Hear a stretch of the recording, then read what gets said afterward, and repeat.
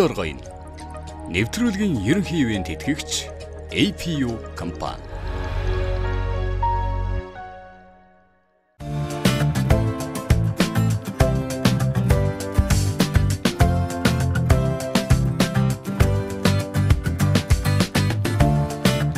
Сайн байцгаана уу гэх юмд үзэгчдээ. Бид энэ удаа та бүхэнд орчин үеийн технологийн дэвшил тулгуурлан банкны үйлчлэгээ нэвтэрч буй шинэ хэлбэрүүдийн талаар танилцуулах болно.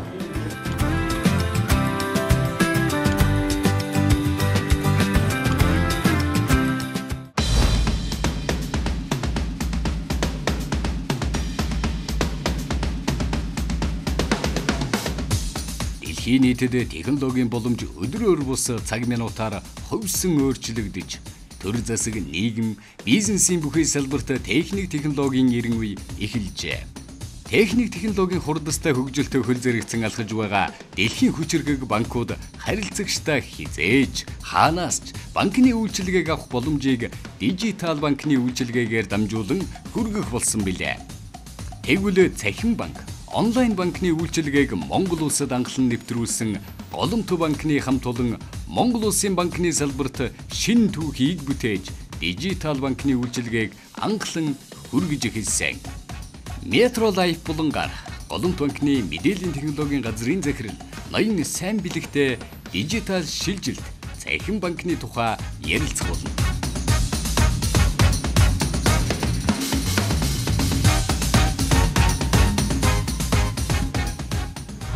Танай банкны хувьд ер нь үйлчлэгчтэй ямар шин төрлийн үйлчлэгээ санал болгож нэвтрүүлж байгаа вэ?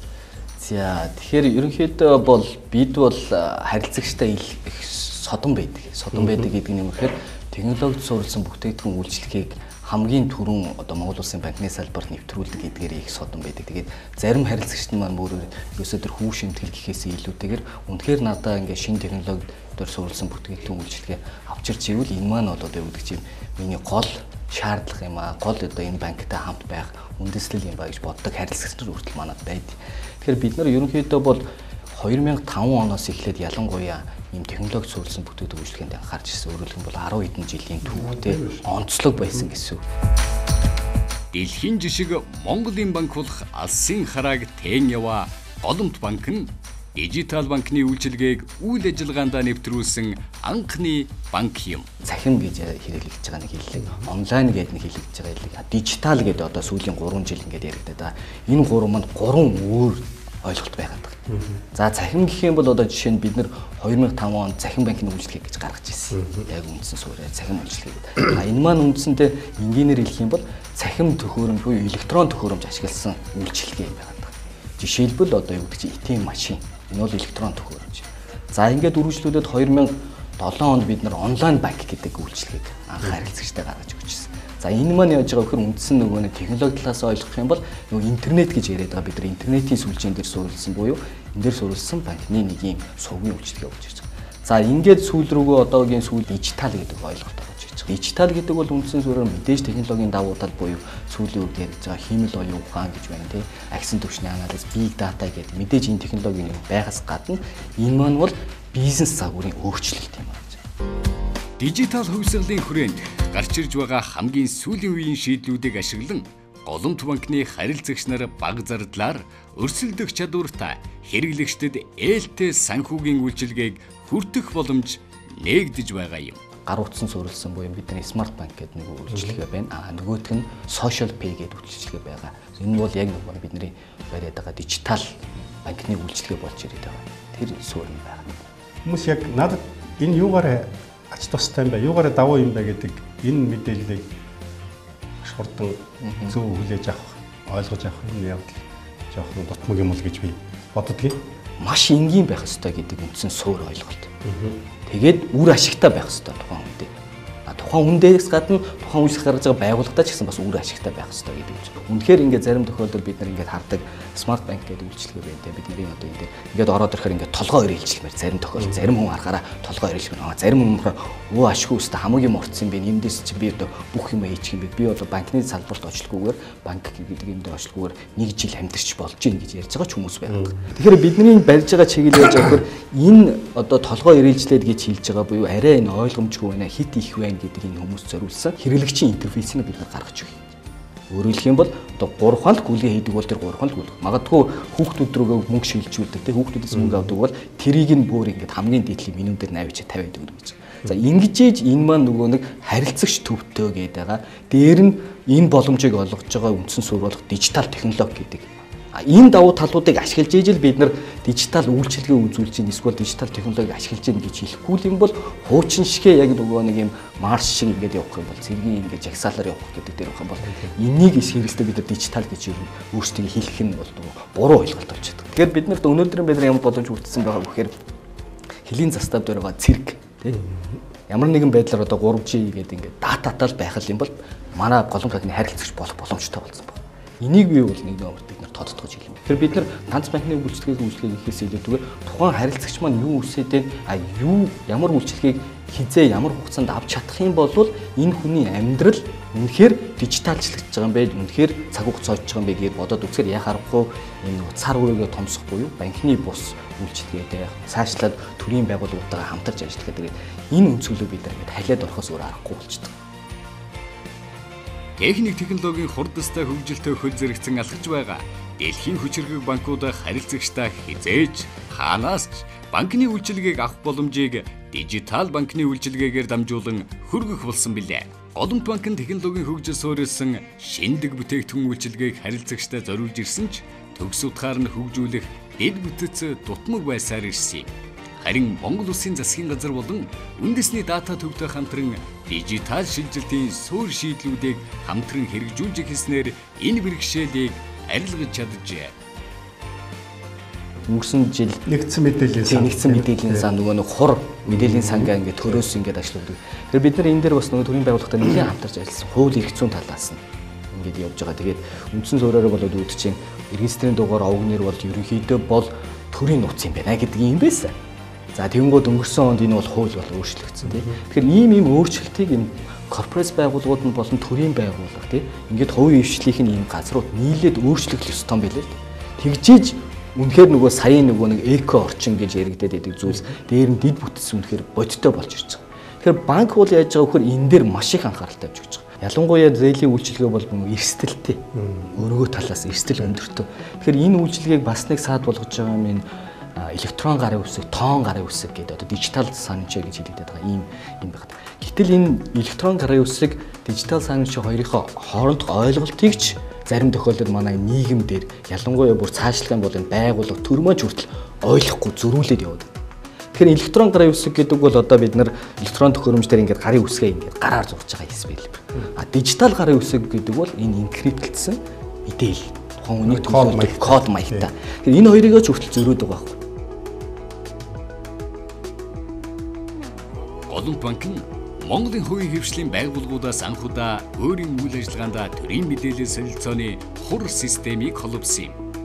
Энэхүү систем нь харилцагч иргэний үнэмлэх, нийгмийн даатгал, хорооны тодорхойлол зэрэг бичиг баримтыг заавал урдчлан бүрдүүлэхгүйгээр хурууны хээгээ уншуулад л банкны харилцагч болох хэрэглээний зээл авах боломжийг олгосон билээ.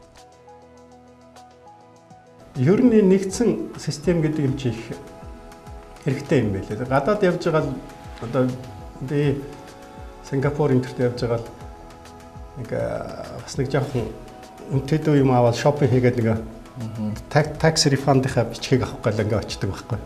Тэгээд нөгөө юу паспортаа юундаа орхицсан, буудалдаа орхицсан.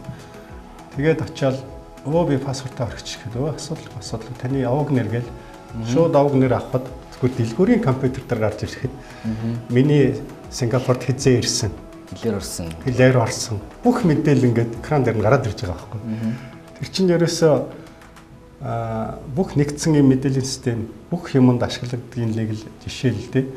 Тэгээ дээр нөгөө ер нь аюулгүй байдал энэ бүх зүйл дээр энэ ийм нэгдсэн систем маань өөрөө их тийм ашигтай зөв ашиглаж чадвал ийм зүйл юм уу гэдэг зүгээр би яг энэ жишээнээс хараад дотроо бодож ирсэн байна. Нийлж ижил юм гард юм. Ялангуяа нийлж иж. Тэгээ нийлж иж гэдэг дотор нь хоёр хүн хоорондоо нийлэх юм эсвэл байгууллага хоорондоо дотроо сайхан байгаад ерөөс болтгүй юм байна л да. Тэгээд нийгмийн хариуцлага гэдэг үгээр банк бол үнэхээр том нийгмийн хариуцлага авч явдаг. Ялангуяа энэ Монголын банкны секторт 20% нийлж байгаа санхүүгийн бүх зүйл дээр нь 20% нийлсэн юм томоохон банк манайх шиг юм банк бол нийгмийн хариуцлага бол нэг номерт байх хэрэгтэй юм. А тэгвэл нийгмийн хариуцлага гэдэг дотор бол маш олон төрөл байх шиг байна. Тэгэхээр энэ дотор нь тэгвэл одоо энэ технологиор суурилсан нийгмийн хариуцлагыг нь хөгжүүлэх нь бас банкны энэ корпорацийн энэ байгууллагын соёлтой байгаагийн үндсэн суурь санаа байд юм байна гэд. Сүүлийн үед одоо интернетээр их явж байгаа энэ нөгөө нэг хятадууд одоо нөгөө нэг ялангуяа artificial intelligence гэдэг хэмэл оюухан дээр суурлаад тухайн хүн иргэн одоо годомжинд ямар одоо бие авч явж байгаас нь хамаарат скорингтой болно. Тэр нь зээлэнд нөлөөлнө.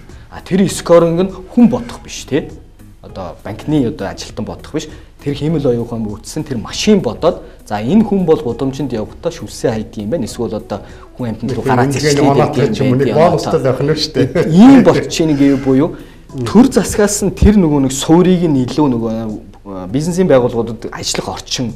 Хувь хүнд нь өөрөө тэр бизнес байгууллагуудад мэдээлэл privacy-г хангаад мэдээлэл шеэрлэх орчин бүрдүүлээд. А гэхдээ энийг бол яг зөвхөн Монголд бол ихэлцсэн мэдээж нөгөө нэг цаг хугацааны асуудал та мэдэнтэй байгаа. А гэхдээ би бол юу гэж боддог вэхээр ялангуяа энэ томоохон байгууллага, хувийн байгууллагууд, төрийн байгууллагууд нь аль болох санал санаачлагтайгаар хамтарч ажилласаа гэдэг. Дээр нь бид нар бол энэ дээр маш нээлттэй байдаг. Төр хувийн хвшлийн хамтын ажиллагааны үр дүнд банк санхүүгийн үйлчилгээ улам бүр дижиталчлагдах боломж бүрдсэнийг Голомт банк Social Pay Smart банк зэрэг дижитал бүтээгдэхүүн үйлчилгээнд анхлан ашиглаж Монгол Улсын банкны болон хувийн хвшлийн салбарт дижитал давлгааг өрнүүлж байна. Яг банк хоорондын энэ үйлчилгээнд дээр дандаа нөгөө нэмэгдэл төлбөрүүд төлдөг ш тийм ээ. Тэгээ би энийг гайхаад байдаг байхгүй. Өдийд энэ чи 21-р зуунд Монгол улс гэхэд бүх банкнуудын нэгдсэн сүлжээнд эргэн нэг банкнаас ямар ч хэмжээний э, мөнгийг нөгөө банк руу ямар зовлонгүйгээр дээр нь ямар нэмэгдэл төлбөргүйгээр ингээ хийдэг ийм системд орж болдгүй юм болоо гэж би зүгээр зүгээр үйлчлэгчийн хувьд боддог байхгүй. Хамгийн өндөр шимтгэлтэй 300 төгрөг авдаг тийм банкуд ингээд авдаг тийм 300 төгрөг. Тэгэхээр 300 төгрөгийг хэн аваад байгаа яагаад байгаа юм тийм. Мэдээж үйлчлэгээ үзүүлж байгаа хурд тодорхой дүн. Гэтэл арай л биш лээ тийм. Яагаад 100 төгрөг байж болоогүй юм бэ. Тэгээ ингээд үзэхээр яаж явахаар банкныхаа хуулийн дээр болохоор банк хоронтын гүйлгээг бол банк Монгол банкаар дамжуулна гэдэг ийм хуультай байдаг. А гэхдээ бид нар энэ дээр энийг ийм хууль дүрм нь ийм байна гэдээ бид нар 0.100 суугааг. А бид нар энтэйгээ зориулаад саяын дээр social pay гэдэг байгаа энэ үйлчлэгийг гаргасан. А social pay үйлчилгээ бол яг хөөхөр манайх жил хагасын өмнө шимтгэлгүй гүйлгээ хийж байгаа банкны ганц аппликейшн. Монголын банкны сектор. Манай Smart Home Social Pay-г та датагүй бисэн ч хэрэглэж болно.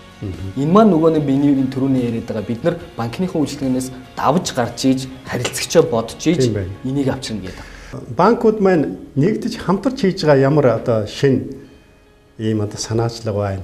Та бүхэн зарим газар орохоор ингээд 6 7 итэм байж идэг.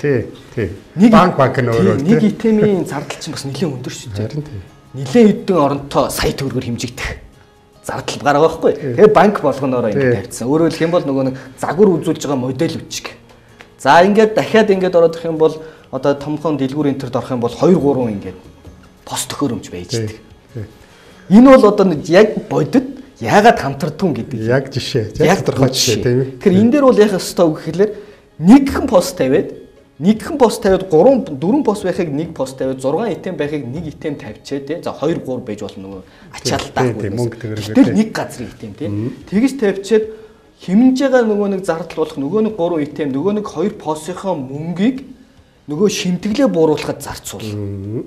Энэ бол яг нөгөө нэг цэвэр одоо нөгөө нэг байгууллагатай ч хэрэгтэй, харилцагчтай хэрэгтэй. Тэгэхээр энэ дээр банкнууд нэлээд их сүүлийн үед анхаарч ажиллаж байна. Миний ойлгож байгаагаар нэлээд олон том банкуд баг нэгээс бусд нь бол энэ дээр бол санал нэгдсэн. Өөрөөр хэлбэл энэ одоо нэг компани байгуулах хэрэгтэй байна. Тэгээд энэ компани маань саяын тэр давуу талыг харилцагч болон байгууллагуудаа үзүүлж явах хэрэгтэй байна гэх. Тэгээд ингээд гэрээ хилцээний төвшөнд орцсон. Дээр нь судалгааныхаа төвшөнд дуусгацсан. Тэгэхээр энэ суур үндэслэл дээр бол бид нар банкуд бол нэлээд хийж байгаа зүйлс байгаа. А дээр нь бас бид нарыг ташууртж өгж байгаа стартап компаниуд байна. Өөрөөр хэлэх юм бол та нар ихгүй бол бид нар хийчихье гэдэг тий. За баярлалаа. За баярлалаа. Та бүхний ажилд амжилт хүсье. Аа баярлалаа. За. Соёл оргойн. Нэвтрүүлгийн ерөнхий ивент тэтгэгч APU компани. сүүн цагаан сэтгэлээр угтаж сайнны өрөөл өрөвддөг өргөн Монгол төмний минь дэлгэр дүүрэн баяраар ургалан саднаран эвийн сэтгэлэн зангидаж уучрлын цэнхэр хадгаран буян заягаан дууддаг хаврын тэргүүн сардан өнтэй золгосон төмөндэн сэтгэлийн гişгэргэн өрөөл айлтган мэдчилээ. APU компани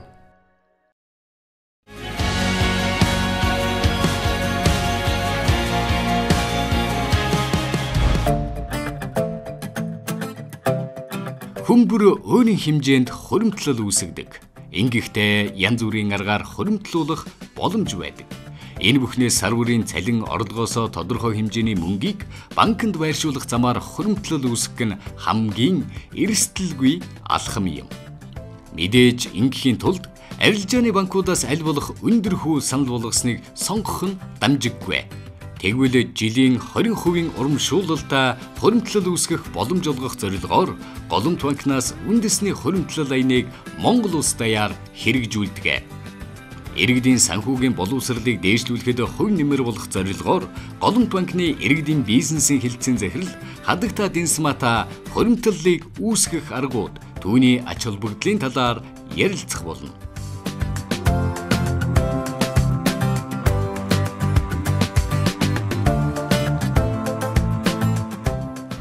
Тэгэхээр Голомт банк ер нь хоримтлын талаар, иргэдийн хоримтлын талаар нэлээд одоо идэвхтэй ажилладаг ийм банк. Танах чинь нэг хөтөлбөр гаргасан байна. Тий, 3 жилийн өмнө. Бараг 4 жилийн өмнө шүү дээ. 15 онд үндэсний хуримтлалын хөтөлбөр гэдээ эхлүүлсэн. Яг үндэсний хуримтлалынхаа хөтөлбөрийг ингээд анх эхлүүлээд тэгээ баахан нийтлэгч нартай одоо хамтарч ажиллаад ингээд та нар тал талаас нь ингээд судлаад бичээд өгөөч гэдэг чийсэн. А тэгэхэд одоо миний санджаар цэндтэйгоо байсан баха. Ерөнхийдөө монголчууд өөрсдөө нүүдэлчин сэтгэхгүйтэй. Буюу одоо угаасаа л өвдөөцсөн нүүдэлчин штэ тий. Тэгэхээр ингээд альва нэг газраас нөгөө газар руу шилжихтэй аль болох баг зүйлийг тээж явах одоо гол өөр аргагүй. Тийм учраас альва юм ингээ хуримтлуулдгүү. Тэгээ таны хэлснээр нөгөө мал аж ахуйн дагаад явж байгаа учраас хуримтлуулах юм байдгүй юм байна л да. Гэхдээ ийм ч гэсэн одоо бидний залуучууд тий одоо одоо бол амьдрал хэв маяг ашигландаа болсон шүү дээ. Бид нар одоо энийг ингээл уйхгүй л дахин дахин ярьж тий ингэж одоо чиглүүлэх ёстой, чиглүүлэх үүрэгтэй хүмүүс нь бид юм байна. Корпорацийн нийгмийн хариуцлага бол нийгэмд байгаа асуудлыг шийдвэрлэхэд оршдог. Харин Голомт банкны хувьд Монгол Улсын үндэсний хөрөмтлөлийн төвшин бага байгааг судлаад энэ хувийг нэмэгдүүлэхийг зорж үндэсний хөрөмтлөлийн хөтөлбөрийг эхлүүлсэн. Тэгэхээр ер нь манай орны хувьд хоримтлын хэмжээ ямар хувь вэ? Хоримтлал сайтай Катар, Кувейт, Хятадуудаас ерөөхдөө болмоор 3 дахин бага байгаад байна. Тийм. Одоо намайг л хүүхд тахт нөгөө иргэн баян бол улс баян гэдэл ярьдаг байсан шүү дээ. Тэгэхээр тэрний баталгаа юм шиг л байгаа юм л да. Одоо жишээлбэл нэг тэр үзүүлэлтээр. Тэгэхээр яг ингээд хөгжилтэй орнуудыг нь ингээд тэр индексээр нь харьцуулаад үзэхээр бүр аргагүй толгой цохоо гараад ирчих. Хөгжилтэй орнууд нь хуримтлалын индексээрээ. Аа тэгээд манайх шиг одоо арай жоохон хөгжиж буй те орнууд бол илүү индексээрээ бага байгаа даа. Тэгэхээр ингээд шууд холбоод үсгээр иргэдтэй нь холбоод үсэх юм бол яг л тэр байгаа даа. Ерөнхийдөө илүү зоригтой, илүү одоо чадамжтай, тийм зоригтой хүмүүс нь төв тий хоримтлал сайтай болсон байхыг үүсэхгүй болчиход байгаа. Тэгэхээр бас хүмүүсийгээ зориггүй байна гэж хэлж байгаа юм биш л те монголчуудыгаа. Одоо бол ерөөхдөө бас хуримтлалыг чинь аа зориг тавиад тэр зоригтой хүрэхийн тулд хуримтлуулж болд юм байна гэдэг тийм юмд одоо суралцж эхэлж байна. Тэгэхээр өмнө нь болохоор магад тэрийгээ бол нэг зориг тавиад тэрийгээ аа за за зээлээр авчих юм байна. Гэл ерөөсөө зээл нь бодогддог байсан бол энэ одоо бас өөрчлөгдөж байгаа. Гэхдээ хангалттай төвшөнд байж чадахгүй л байна. Японд 35 наст хүртэлх залуучууд маш их хуримтлалтай байдаг. 35 нас хүртэлх залуучууд. Тийм. Залуучуудын дунд эмэгтэйчүүдийн хуримтлал маш өндөр байдаг. Залуу эмэгтэйчүүд би ирээдүйнхээ амьдралыг одоо нөхөрт гарна өөр хүүхдтэй олон тэгээд ингээд амьдрал амьдрал ахыгаа одоо зориг болгоод эрхэмлэх учраас эмэгтэйчүүдийн хуримтлал илүү байдгаа гэдэг. Манад ер нь залуучууд тэр зэрэг хуримтлал идэг. ТV бас нэг өөрөө тийм амар феминист хүн биш л дээ.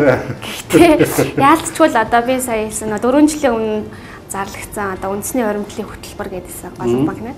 Тэндээс одоогоор бол нэг 120 мянган хүн нэгдсэн байна л та. Өөрөөр хэлбэл дөрөвдөг жилдээ сар болгон орлого нэмээ явж байгаа хүмүүс. Тэгээ энэ хүмүүсийнхаа нөгөө насаар нь англиад тэгээд хүүсээр нь англиад үзлээл дээ нөгөө судалгаа хийн штэ бид нар. Тэгээд тэгэхээр ерөөсөө л яг 25-аас 36 насныхан хоригдлуулж байна. Манай гайгүй тийм гэрэл гээгээд байна. А тэгээд тэрнийх нь бараг 65% эмэгтэйчүүд. Бараг 70% гэж хэлж болно тийм. Японч төдийг ер нь дэлхийд даяараа тэгээ бид нараас судалж үзсэн дэлхийд даяараа эмэгтэйчүүд өөрсдөө бас ийм илүү хариуцлагатай учраас хуримтлуулах юм сэтэлтэй хүмүүс байд юм байна гэж бас дүгнэгдэж байгаа. Үндэсний хөрөмтлөлийн хөтөлбөр амжилттай хэрэгжсэн 4 жилийн хугацаанд нийт 105 мянган иргэн сар бүр хөрөмтлөлөө нэмэгдүүлэн хөрөмтлөл хийх зуршилд суралцж байна. Тэдний дээлийн хувь нь эмэгтэйчүүд байна. Амьдралд байгаа юм хэв шинжийг илүү сайхан амьдралын тийм төлөөх зорилготой өөрчлөнө гэдэг бол сайхан дэгэлгэл зүйл юм шиг байна.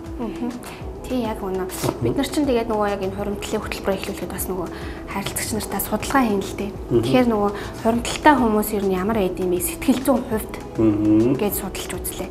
А тэгэхээр хуримтлалтай хүмүүс сэтгэл зүйн хувьд маш их юм одоо өөртөө ихтэй. А тэгээд айцсгүй байдаг.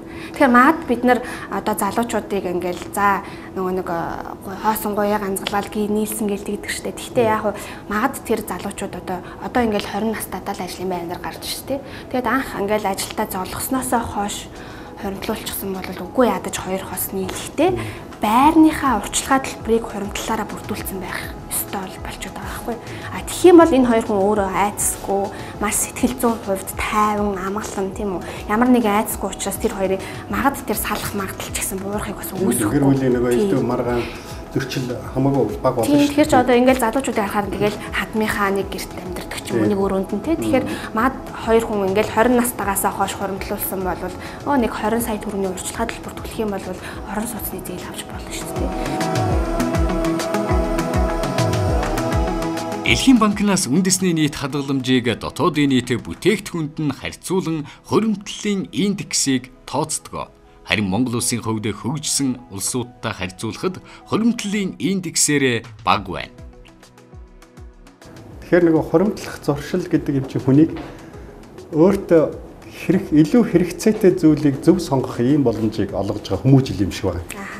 Тэгэхээр нөгөө хоримтлал их боломж нь гарч байгаа байхгүй. А тэгэхгүй хүн нөгөө өөрийнхөө хэрэглэгийг хянахгүй болохоор хүн би эн чинь нөхрөхгүй байхад юугаар хоримтлал хийдэг гэдэг нэг ийм бодол байгаа даа шүү. Тэгэхээр тэр Боримтлыг хийж эхлэх яг өөрөө чи хэлдгээр хамаагүй багч бай өнөөдөр хийж эхлэх тэр зуршил бий болно гэдэг л хамгийн их чухал юм шиг байна. Яг зөв таны яг сайн хэлж байгаа.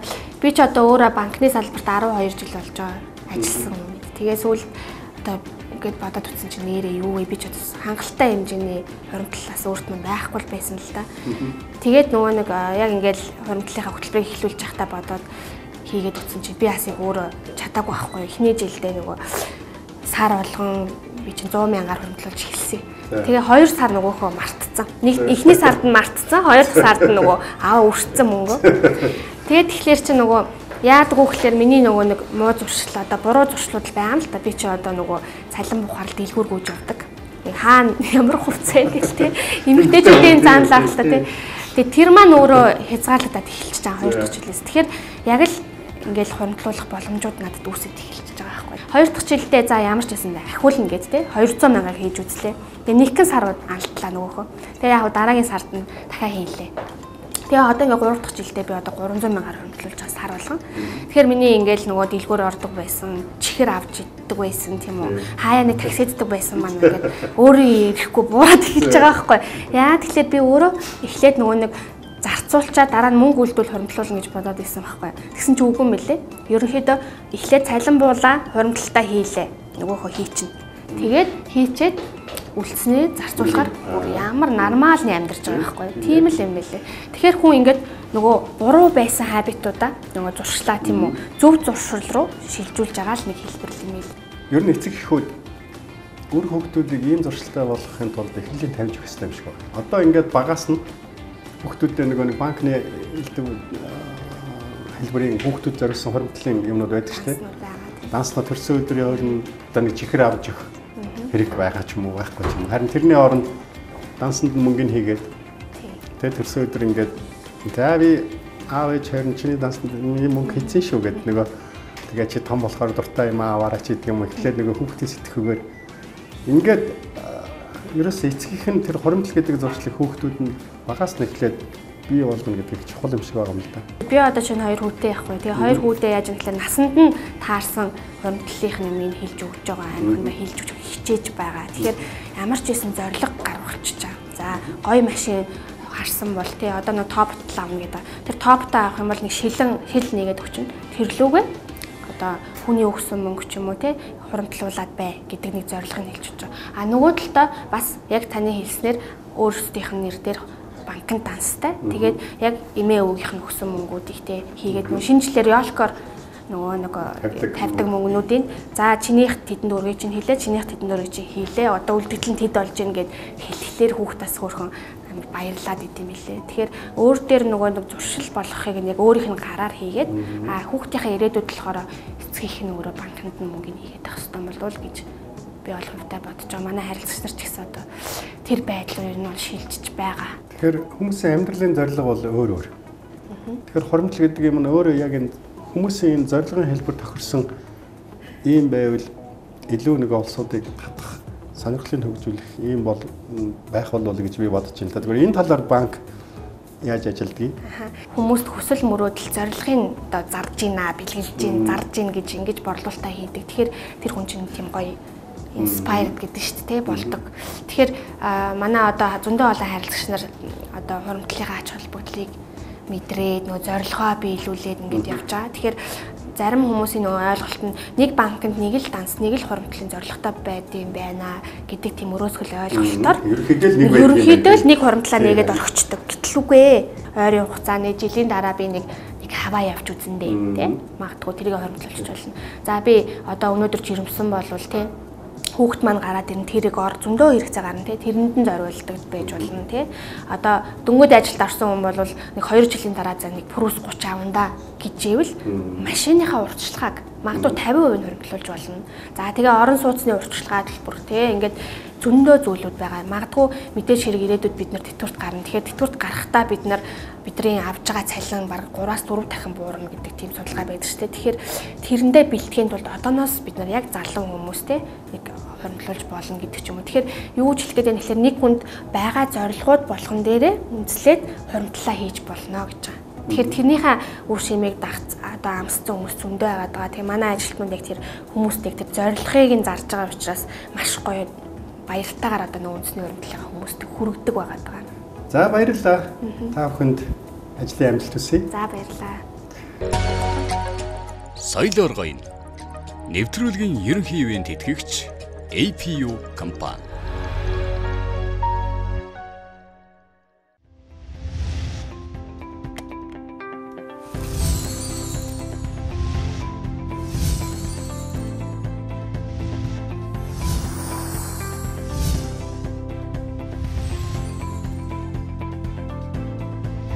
Сэргийгч ус ориглон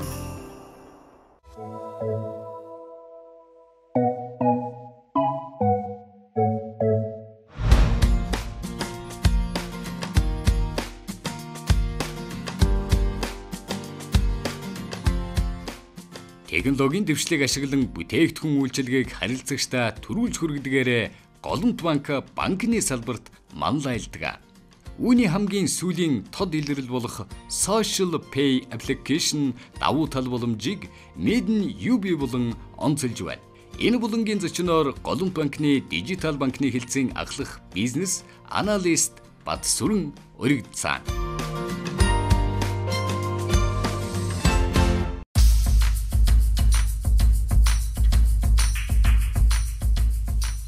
Social Pay гэдэг танай шинэ үйлчилгээ. Өнгөрсөн оны сүүлээр гарсан үйлчилгээ байна чинь. Бараг гараад нэг жил хагас бараг болох гэж байгаа. Одоо ер нь нэлээд нэвтэрсэн үү? Одоо яг нэг цоошин үйлчлэгээ учраас мэдээж баг багаар нэмэгдэнэ. А гэхдээ өнөөдөр бол нэлээд олон хүний хэрэглэгчийн одоо өдөр тутмын өвөр хэрэглээ нь болцсон. Нэг идэвхтэй хэрэглэгчийн тоомод нэлээд өссөн баг. Аппликейшн танаа гаргасан аппликейшн шиг байна. банкны үйлчлэгийг ерөнхийдөө дижитал болгоно гэдэг зорилгын хүрээнд гаргасан манай хамгийн ихний үйлчлэг маань байна. Тэгэхээр яг одоо финтек гэж сүүлийн үед ярьж байна тий. Тэгэхээр бид нар өөрсдөө яг дижитал болно. Тэгээ мөн санхүүгийн үйлчлэгийг технологи суйрлуулна гэдэг утгаараа банкнаас гаргаж байгаа яг л финтек үйлчлэгийн маань сошиал бай байгаа. Энэ нь болохоор яг бас нэг зөвхөн бэлэн мөнгөний асуудлаас гадна одоо өнөөдөр бид нар уламжлалт гүйлгээ их үйлчлэгээр харьцангуй хүмүүс сурцсан шүү дээ.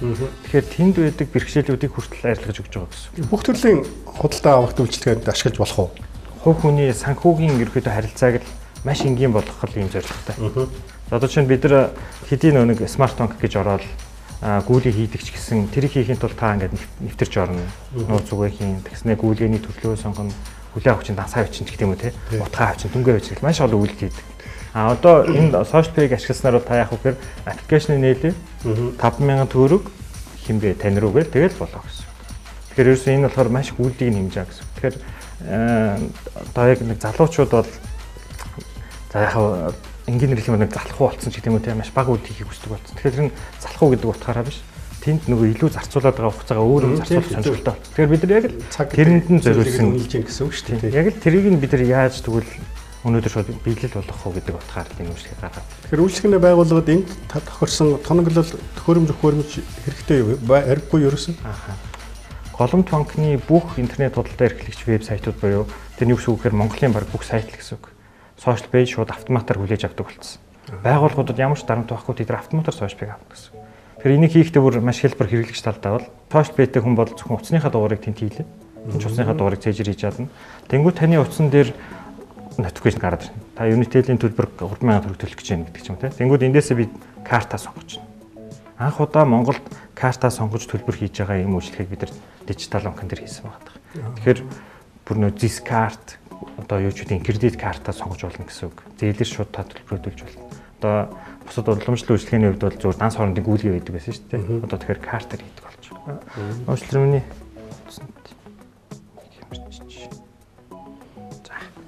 Чи сая үйлчлэгээ хийж байгаа юм уу? Зүгээр сайн нөө миний утсан дээр notification ирээд харсан чинь юуны юушны төлбөр гарсан байна л та. Тэгээ би сая бол чинь social player ингээд төлбөрөө төлчихөө гэсэн. Үгүй дөнгөж саяын энэ үйлс тэгэл болоо юу? Тэгэл болоо гэсэн. Зүгээр тарих тайлбарлах юм бол хэрэглэг үйлчлэгээнүүдийн төлбөр маань надад хүрээд ирнэ. Тий. Тэгэл би тэндээсээ зүгээр сонгоод яг энэ утасны хувьд бол нөгөө нэг царай уншдаг учраас би төлбөр төлөхөд миний царайг уншаад автоматар тооцоо гэж байгаа шүү.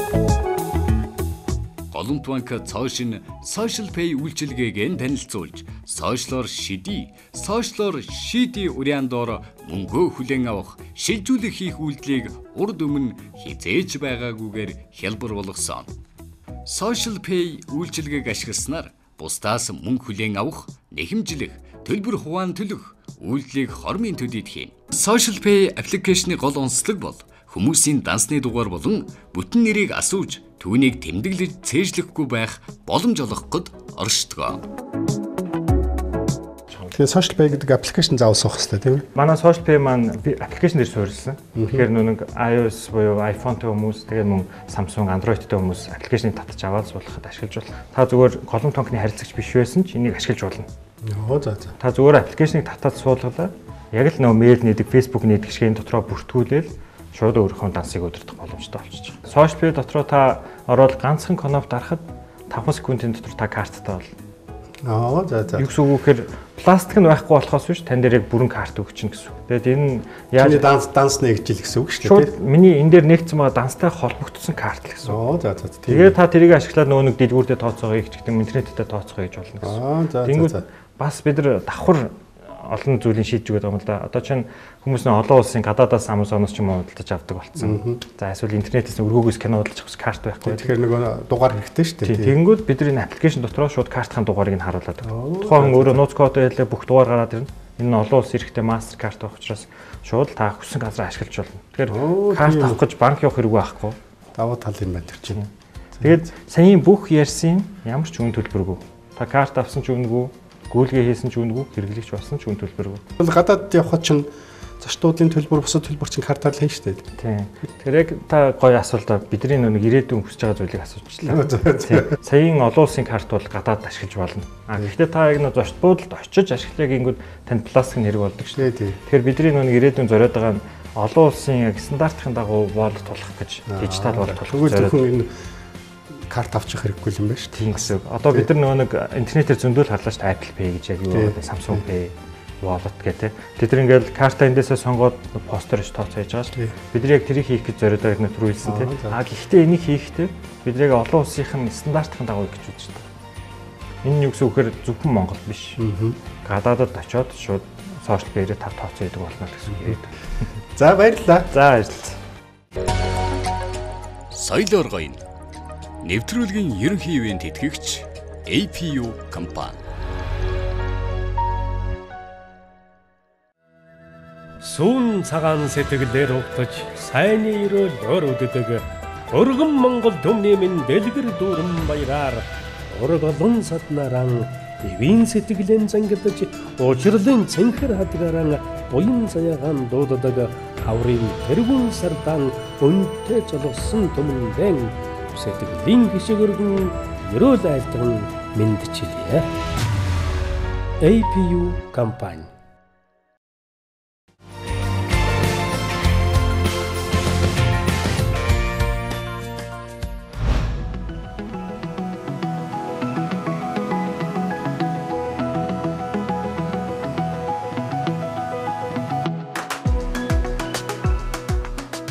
Банк бол үйлчлэгээний байгууллага.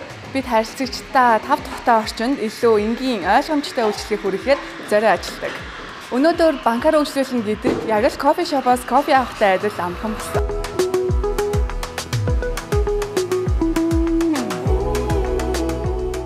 Харилцагчид голомт банкны салбараар орж ирээд хаана ямар үйлчлэгээ авах боломжтойг энэ ерөнхий зургаас харж болох бөгөөд хинээс авах вэ гэдгийг чиглэл заасан сумнуудаас мэдэх боломжтой юм аа. Мөн танд асуудал тулгарх юм бол танд туслах, таны туслах харилцагчийн зөвлөх бэлэн байгаа.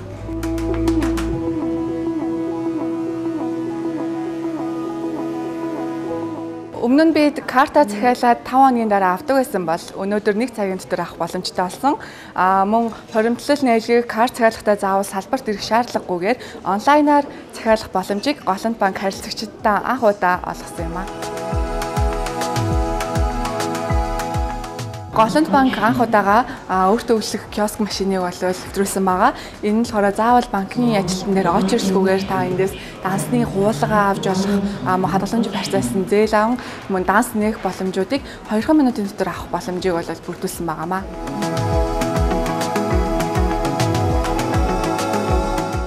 Иргэдийн хувьд үйлчлэгээний байгууллагуудаар ороход санал олдохгүй ч юм уу эсвэл ариун зүрийн өрөө олдохгүй тохиолдлууд маш их гардаг. Голланд банкны хувьд эдгээр асуудлуудыг шийдэхээс гадна кофе шопоор үйлчлүүлж, номын сангаар үйлчлүүлэх боломжуудыг харилцагчдаа нээж өгсөн байгаа.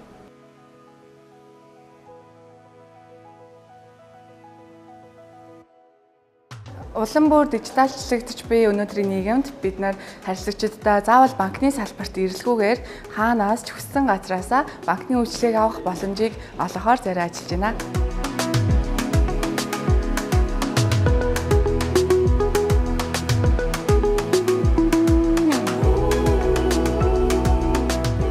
Ингээ ойлгомжтой төргөн шуурхай үйлчлэгийг тав тухтай орчинд хүргэх нь харилцагч төвтэй голланд банкны гол стратеги юм а.